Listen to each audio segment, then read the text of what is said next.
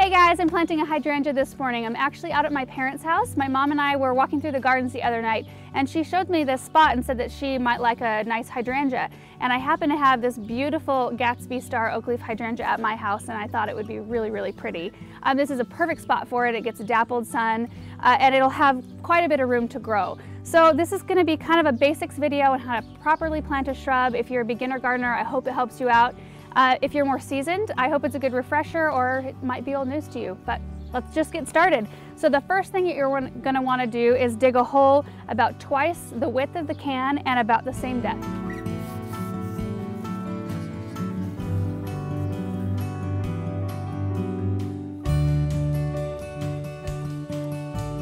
My hole is dug, it's nice and big I think, I think it's big enough.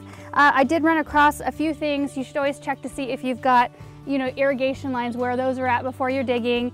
Um, I had a couple of small roots because we're right beneath a tree, but I was surprised I didn't run anything, anything bigger. So before I uh, actually take the plant out of its pot, I'm gonna test the level because I don't want the uh, root ball to be lower than the current soil level because we don't want water running in toward the crown of the plant because that can rot woody stemmed plants. So I'm gonna set it in the hole it looks pretty good. I'm gonna add probably two inches of soil to bump it up a little bit. If anything, you want that root ball just a tiny bit higher or right at soil level. I'm kind of dealing with the slope too. It looks like it starts higher and gets lower, so I wanna be mindful of that.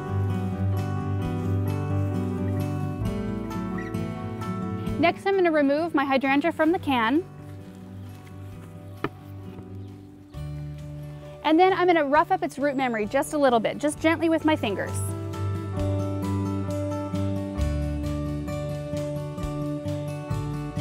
Then I'm gonna place it in the hole and I'm gonna stand back and see if I like the angle it's facing.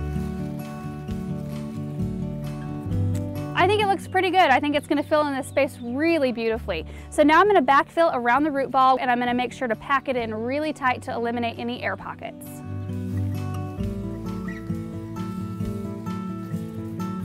It's always a good idea to add a nice layer of mulch when you're done planting because it helps retain moisture and it helps keep the roots cooler and it looks really pretty. My parents have a nice big pile of mulch out back so I just used my hydrangea can and went and got a scoop.